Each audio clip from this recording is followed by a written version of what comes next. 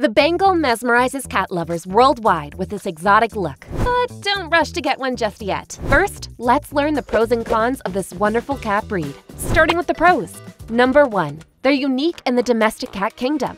They're gifted with a luxurious coat. It's incredibly soft to the touch, much like silk. But what sets Bengals apart is their gorgeous rosettes. The Bengal is the only cat breed that can display them. Number 2. Bengals are highly social cats and love their family deeply. They'll always be by your side, either supervising your activity, enticing you to play, or looking for cuddles. Number 3. Bengal kitties are incredibly easy to groom. An occasional light brush is all it takes to keep this cat's coat looking amazing. What a relief! Number 4. Bengal cats are renowned for their intelligence. These clever fellows love anything that challenges their brains, like food puzzles, and can effortlessly learn tricks. Some retrieve toys naturally, and most love a leash walk around the neighborhood. Due to their intelligence and affection-seeking behavior, Bengals are more like toddlers than pets. They're not typically afraid of water, so expect them to learn how to turn on the faucet. Still, their out-of-the-ordinary brains can be problematic, and I'll definitely touch on this later.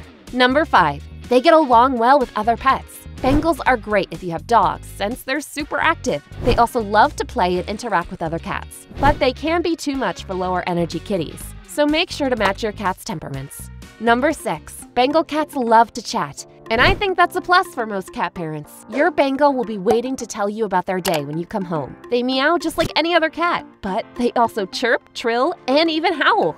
Number 7. They might be better for people allergic to cats. While there's no truly hypoallergenic cat breed, some do better than others. But what causes the allergy in the first place? The most dominant allergen is produced by the cat's sebaceous glands and found in the cat's fur. It can also be found in the cat's saliva in lower quantities. While some online resources state Bengals produce fewer allergens than other cat breeds, I haven't found any legitimate studies that conclude this. Still, Bengals have a thin undercoat and shed less than other breeds. As such, there will be fewer allergens in the air, at least in theory. But you should always consult with your doctor before getting any cat if you're allergic. Number 8. They love the outdoors and aren't afraid of adventures. The Bengal can accompany you on your walks around the neighborhood, and who knows, maybe even on your hiking trips. Bengals can make excellent companions for the right people, but we also need to discuss this breed's disadvantages so you can see the whole picture. Number 1. They're too active for the average person. The Bengal is one of the most energetic cats in the world, don't think that's easy to handle. These brilliant kitties need constant entertainment. It can be overwhelming at times to make sure their needs are met, which brings us to the next one.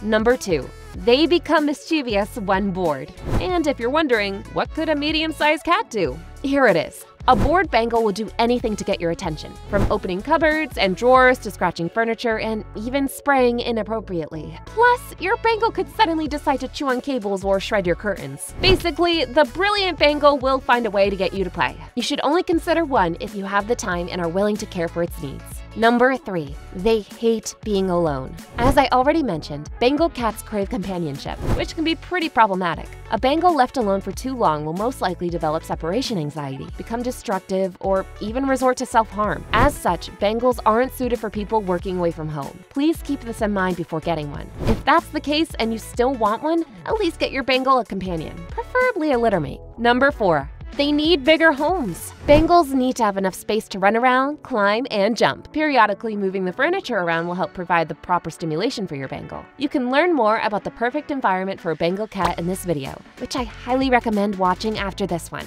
Number 5. They might need catios or walks to be happy. Since Bengals are so active, a larger home might not be enough. It would be great to have some space for a catio. A leash walk can also do the trick if you live in a quiet neighborhood. Number 6. Bengal kitties talk a lot, and while that's lovely, they can be pretty loud. Keep this in mind if you prefer a quieter environment or have thin walls and picky neighbors. Number 7. They're prone to developing a serious health issue called HCM. HCM causes the progressive thickening of the heart's left ventricle It can lead to sudden death. The condition isn't curable, but the medicine can prolong the affected cat's life if detected early enough. Sadly, even a kitten born to healthy parents can develop it, as HCM cannot be detected through genetic tests. On the plus side, accredited breeders screen their cats yearly against many health issues, preventing affected cats from mating. That's why I highly suggest staying away from backyard breeders. The Bengal's other major health concerns is progressive retinal atrophy, which isn't life-threatening but can still affect the cat's quality of life. And now, I highly suggest watching this video next to learn more about the Bengal's health, personality, and perfect environment. See you there!